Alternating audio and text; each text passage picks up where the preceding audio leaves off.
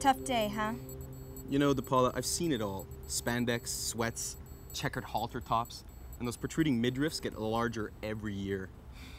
If I ever find the guy moving this filth, I'll make pate out of him.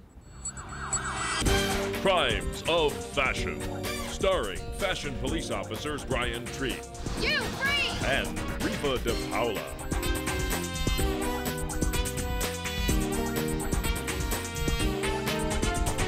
Fighting the scourge of bad taste on behalf of style conscious trendsetters everywhere. This is Crimes of Fashion. Here's your host, Rhoda Carolison. Welcome to Crimes of Fashion, the only show that seeks out fashion criminals and reforms them into stylish trendsetters.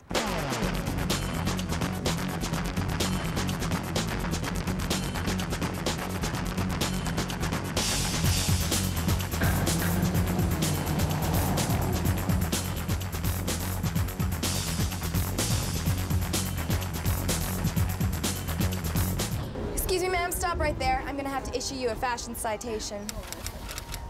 What? I'm not sure whether you just rolled out of bed or whether you're coming from the gym, but sweatpants are not pants.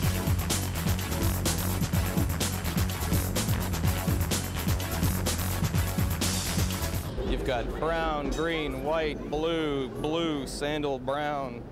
It's all over the place.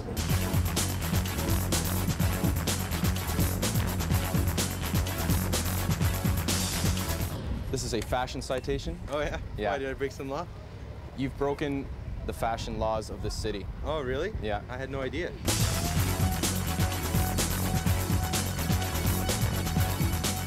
So I'm gonna have to write you a fashion citation.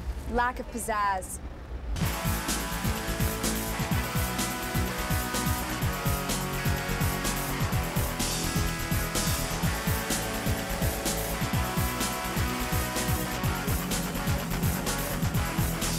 We're the fashion police and we're arresting fashion criminals and you definitely need of a makeover. And also, you know, we should we're probably still- discuss this at greater Yeah. length. Why don't you write down your phone number, and we will we'll call you and. Is he flirting with a police officer?